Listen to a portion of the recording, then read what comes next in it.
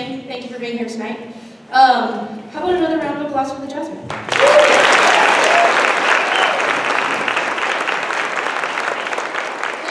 every Monday, or they're supposed to show up every Monday and Thursday morning at 7:30. Um, so they put in a lot of extra hours, and they, I think, put on a good show. The jazz band will be traveling Wednesday, April 26th to Kansas City to participate in the Kansas City Jazz Summit.